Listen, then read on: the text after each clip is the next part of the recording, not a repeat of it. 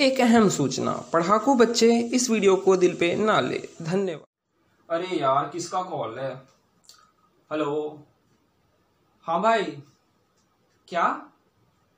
अच्छा तो आप एग्ज़ाम के लिए मेरे से पूछ रहे हो कि मैंने पढ़ा कि नहीं पढ़ा? वेरी फनी क्वेश्चन है ना? हाँ सबसे पहले तो आप ना मुझे एग्ज़ाम के जो डेट्स हैं वो सेंड कर दो कि कब कब एग्ज़ाम है। अब आगे बात करते हैं। हाँ आप तो पहले भी पढ़ते थे। चौबीस घंटे में से पच्चीस घंटे पढ़ने वाला स्टूडेंट तो आप ही थे।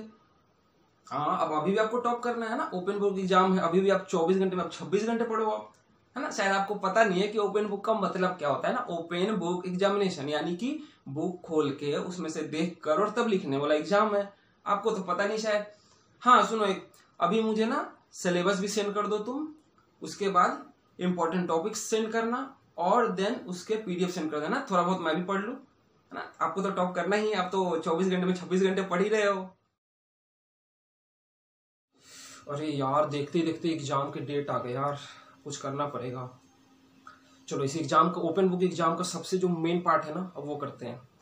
चलिए एक एक करके अब टॉपर्स को कॉल कर लेते हैं, देखते हैं इन लोगों का प्रिपरेशन हुआ है कि नहीं।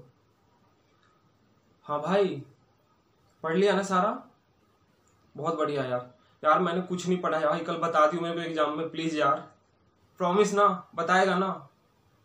बहुत बहुत बहुत धन्यवाद यार, बता दियो प्लीज़ यार, कल पक्का बता दियो। चल चल बाय ओके बाय बाय चलो, एक से तो बात हो गई। अब अगले टॉपर से बात करते हैं, देखते हैं। हेलो हाँ भाई। प्रिपरेशन हो गया ना पूरा? यार, मेरे को बता दियो यार, मैं बिल्कुल नहीं पढ़ा हूँ।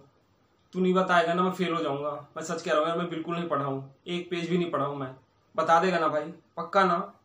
प्रॉमिस चल यार बता दियो कल पक्का। चल ओके बाय सो फ्रेंड्स ये एग्ज़ाम का मेन पार्ट था ओपन बुक एग्ज़ाम में अगर आपने ये नहीं किया तो आप तो ज़रूर फेल हो जाएँगे।